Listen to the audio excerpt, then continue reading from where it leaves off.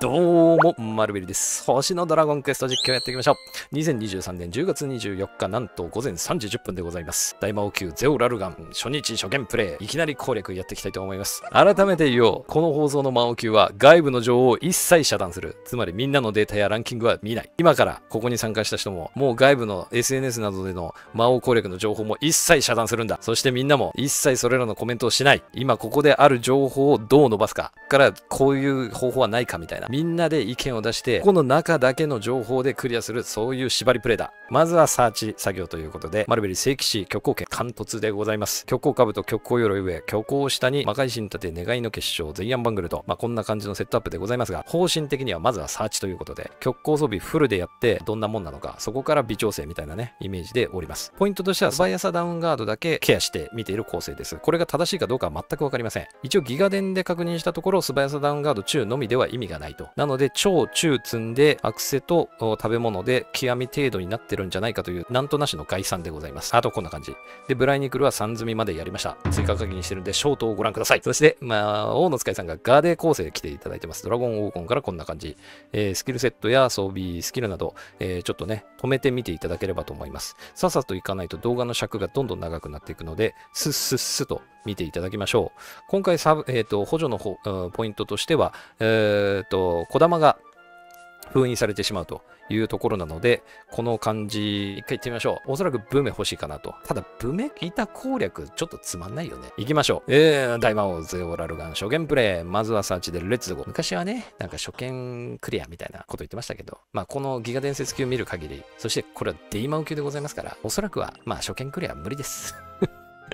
実況解説マルベルがお送りしてまいります。さあ、最近ね、実況スタイルもちょっとなんかワンパターンだったので、なんか今日はちょっと気合入れて何かがあったということで、何があったかは知りません。さあ、やってまいりました。ゼオラルガン。倍速切っていきましょう。現れたこいつの正体は、すごいですね、トサカが。シルエットで見たときね、なんかこう、セルみたいなさ、あとシャチとかさ、そっち系のなんか一体化してんのかなと思ったら、これトサカなんだね。今知ったわ。さあ、どうしましょうか。とりあえずは解放していきましょう。まずは深淵の初期。これが例の小玉封印呪文封印。さらに、こっちが与える呪文ダメージのバフ効果が入るみたいですね。小玉を封印された代わりに呪文ダメージ上げちゃるよというね、ちょっとした優しさを見せてくれます。さあ、まず、使いさんがガで動いていきますが、戦友の盾に行けるのか、よくわからないので、ギガ伝と同じ、まず立ち回りを一回入れてみたいと思います。サブスキルのブライニクルから叩きます。極光家の特性、1.3倍の攻撃呪文に対する倍率がまずはかかりますと。で、メインスキルの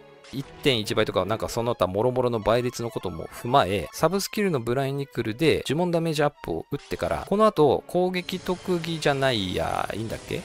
まあ攻撃呪文と攻撃特技の1.3倍効果も乗るのでここで EX 叩いていいのかな？EX さすがにデイマオ級では叩かないよ、叩かない方がいいような気がしますが、まあ、サーチなんでね、まずは叩いていきましょうよ、とにかく。さあ、レイマダン呪文でございます。暴走してますね。受け切れるのか？333、ヒャドダメージでございます。なんとか私は受け切り、使いさんは1打へ発動ですね。これは偏ってしまったか。本来戦友が入っていればどちらにせよ受け切れないと。ここはケアしなければいけないところですね。さあ EX スキルを入れていきまして、7564。ダメージが全然通りません。そして流れてメインスキルのブライニクルの聖剣連山と。なんか死んだんだけど。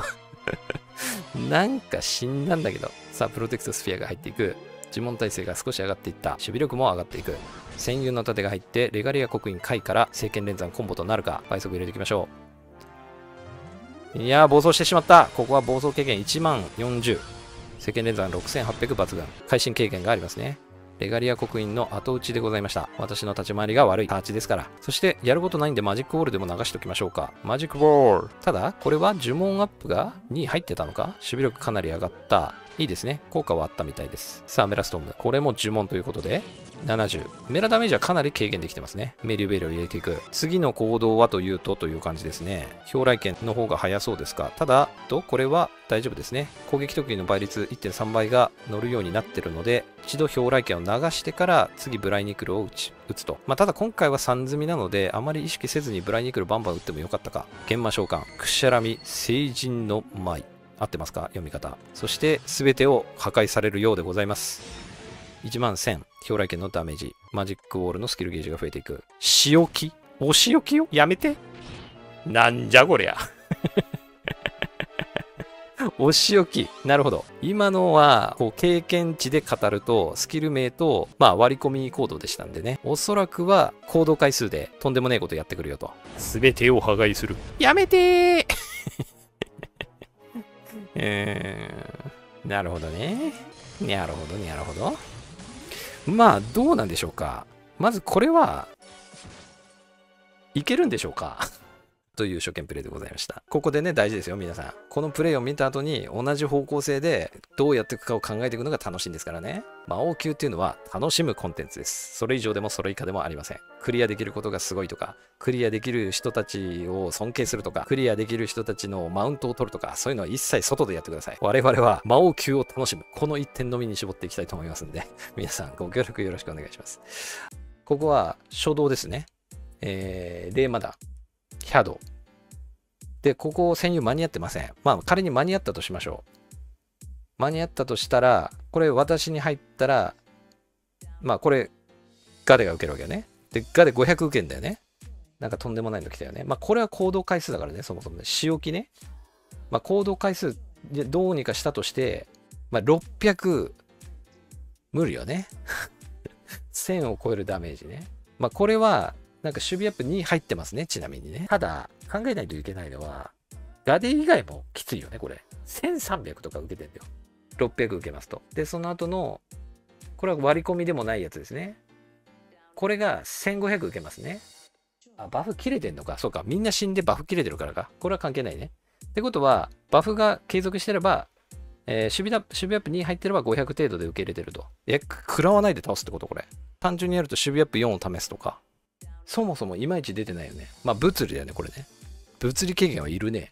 2発目、使いさんが受けて500。あ、そうか。これは占有が入ってないから500か。で、占有を入れれば200。で、3発入った場合のことを考えましょう。あ、違う。250の3で700ちょい。750。使いさんの HP が715。3発入ったら、運ゲーで、はい、次、やる。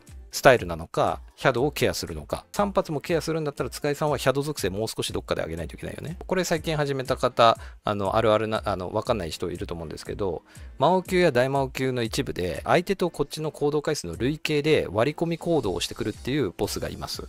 なので、まあ、一旦行動回数をカウントしてみましょうと。一応カウントだと多分26前後。石はどうなの？石がカウントないんだったら25。メラストームか。レーマダン、メラストームの間のカウントもやった方がいいよね。てか、これさ、割り込みだからさ、だそれで発動してんだよね、多分。まず、これ、これ基準にしよう。これ、これ来て、要は規則性があるかどうかっていう確認ね。1、2、3、4、5、6、7、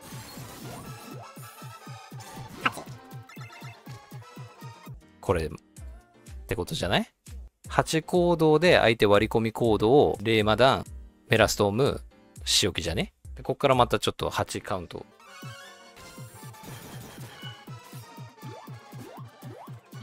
はい、2とか仮に3、4、8かける。5、6、7、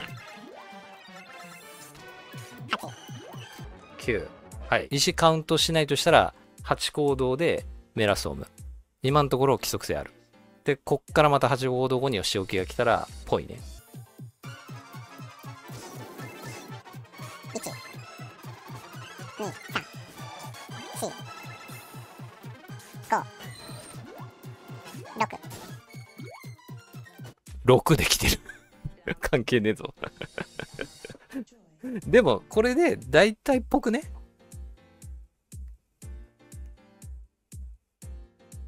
6で来てるけど。まあわかんない。20、えっ、ー、と、25か6行動で来てるか、7行動ないしは8行動後に来てるか、というふうに、とりあえずそれが本当かどうかわかんないけど、それに合わせて動いてみる。相手の通常行動、マッツとかっていうそういうこともあの考えて、一個一個の課題をクリアしていく。俺はこれを見てほしいんだ。最近始めた人に。ね、装備がどうこうじゃないんだよ。クリアできてない理由を見て、4人が協力してどうケアするかっていうことを繰り返すのが魔王級攻略とか大魔王級攻略の楽しいとこなの。星空楽しいよっていうのを見てほしいの、俺は。こういう風に一個一個積み重ねていこう。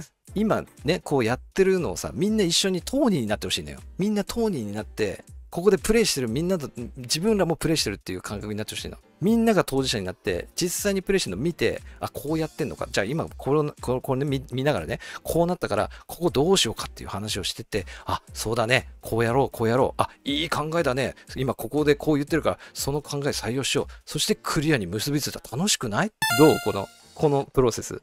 このプロセスがめちゃくちゃ楽しいんだけど、